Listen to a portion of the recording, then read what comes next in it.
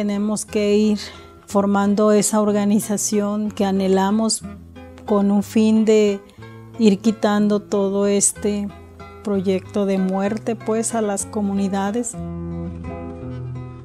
María de Jesús Patricio Martínez, mejor conocida como Marichuy, es una mujer nahua, originaria de Tuxpan, Jalisco, México.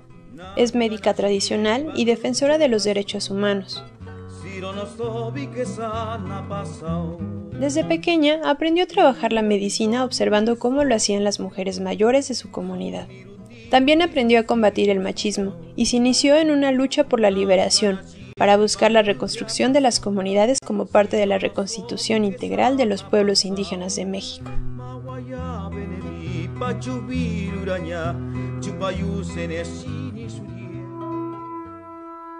Después del levantamiento del Ejército Zapatista de Liberación Nacional en 1994, el movimiento indígena se vio fortalecido. Para 1996 se organiza el Foro Nacional Indígena en Chiapas y Marichuy es invitada a participar representando a su comunidad. Unos meses más tarde, participó también en la fundación del Congreso Nacional Indígena en la Ciudad de México y desde entonces ha sido parte de su caminar. El CNI nace el 12 de octubre de 1996 en el marco del diálogo que se llevaba a cabo entre el EZLN y el gobierno federal, para buscar modificar la constitución y dotar de autonomía a los pueblos indígenas de México. De los diálogos resultan los acuerdos de San Andrés y una propuesta de ley que más adelante debería ser aprobada en el Congreso. Por varios años, el EZLN y el CNI presionaron para la aprobación de la Ley de Derechos y Cultura Indígena, hasta llegar a la capital del país con la Marcha del Color de la Tierra, en marzo de 2001, Marichuy fue una de las oradoras que habló en nombre de las mujeres indígenas de México en la tribuna de la Cámara de Diputados. A nombre de las mujeres y hombres del Congreso Nacional Indígena, estamos convencidos de que la iniciativa de reformas constitucionales de la COCOPA hará posible el eficaz reconocimiento de la existencia de nuestros pueblos que es ya mandamiento constitucional, como base en la pluriculturalidad del Estado mexicano. En sus manos ponemos la esperanza de que por fin los pueblos que habitamos estas tierras veamos reconocidos nuestros derechos ancestrales.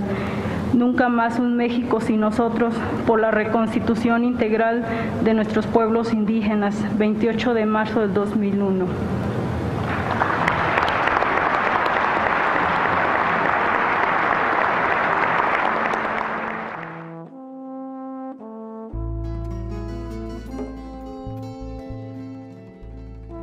Pero la respuesta del Estado siguió siendo la de la explotación, la represión, el despojo y el desprecio, y el camino de los pueblos se mantuvo en resistencia y rebeldía, con muchos dolores, pero también con diversas iniciativas para reconstruir su poder propio, desde abajo y a la izquierda.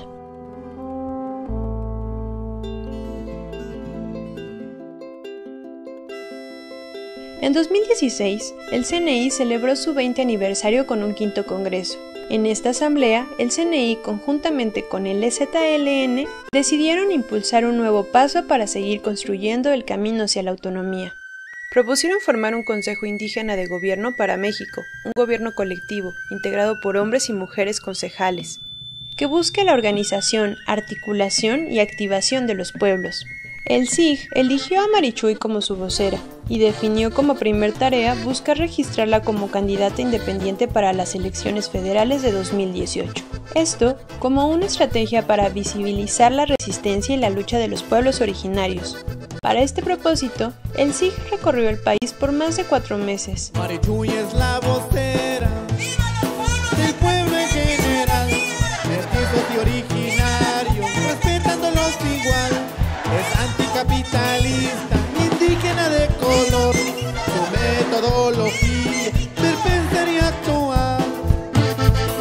Se lograron juntar más de 280.000 firmas, aunque no las suficientes para aparecer en la boleta.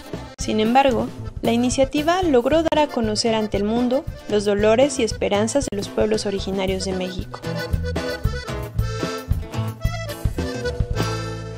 Queremos construir ese poder como tiene que ser que el pueblo tenga el poder y el gobierno tiene que obedecer. Pero ¿cómo lo vamos a hacer? Pues solamente poniéndonos de acuerdo.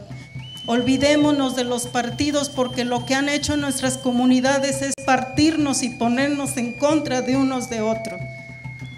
Tenemos que construir juntos ese poder desde abajo. Pueblos indígenas, estudiantes, mujeres, obreros, maestros, todos los que sientamos que este México se está cayendo a pedazos y que urge que nosotros tenemos que hacer ese cambio desde abajo. No lo esperemos de arriba que no va a venir. Tenemos años los pueblos esperando y confiando que ya vendrá y no es cierto.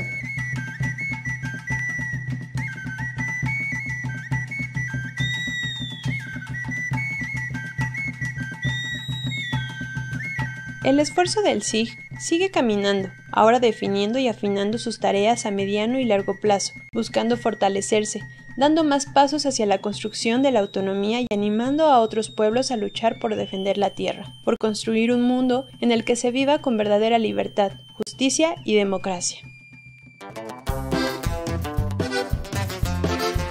Tenemos que ir cada vez fortaleciéndonos e ir creciendo más en número para hacer posible todo lo que es necesario realizar para que nuestros pueblos sigan viviendo. Marichuy, color de la tierra y capitalista del corazón.